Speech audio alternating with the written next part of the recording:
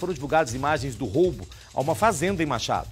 O crime foi na sexta-feira. Segundo a PM, os bandidos estavam armados e renderam os donos da fazenda e funcionários.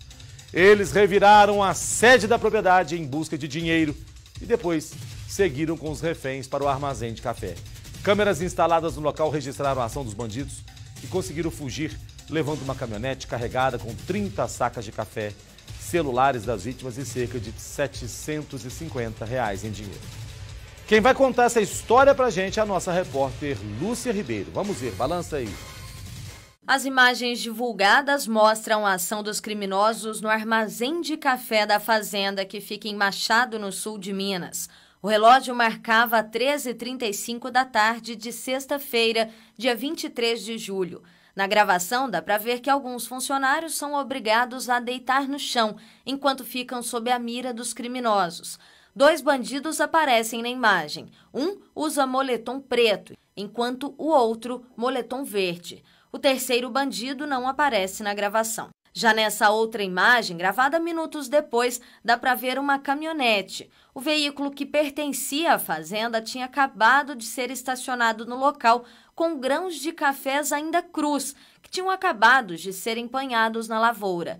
Só que, segundo a PM, esse produto não servia para os criminosos. Por isso, eles obrigaram alguns funcionários a trocar a carga, como a gente pode ver nessa outra gravação.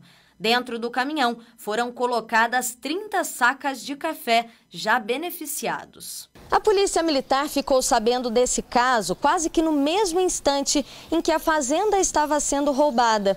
É que, por telefone, uma das donas da propriedade conversava com a mãe quando ela foi surpreendida pelos criminosos. Do outro lado da linha, a mãe dela percebeu que algo estava errado e rapidamente ligou para o 190 e pediu ajuda para a polícia.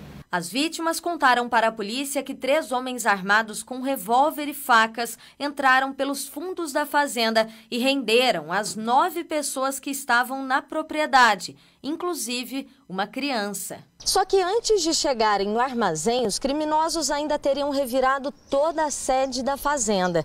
Eles procuravam por dinheiro. Ainda segundo uma das vítimas, os criminosos ainda teriam mencionado que sabiam que era dia de pagamento na fazenda. Só que como não encontraram nada na casa, eles decidiram roubar o café produzido na propriedade. As vítimas também chegaram a contar para a polícia que durante a ação os criminosos ficavam dizendo que iam matar mais um. Depois de carregar a caminhonete, o bando finalmente fugiu. Mas o alívio para as vítimas ainda não tinha chegado ao fim é que além da caminhonete da fazenda, os criminosos também roubaram um carro da família. E ao volante, nada desses ladrões. Eles obrigaram com que duas vítimas assumissem a direção desses veículos. Depois, usaram essas vítimas como escudo para deixarem a fazenda. Eles fugiram sentido a BR-267. Só que no meio do caminho, eles resolveram trocar os veículos. E na caminhonete seguiu apenas os criminosos, que seguiram sentido a cidade de Poços de Caldas. Já o veículo com essas duas vítimas ficou para trás e essas vítimas, então, resolveram voltar para a fazenda. A carga de café, a caminhonete, sete celulares e cerca de 750 reais foram levados da fazenda pelos bandidos. A polícia deu buscas na região, mas até agora ninguém foi preso.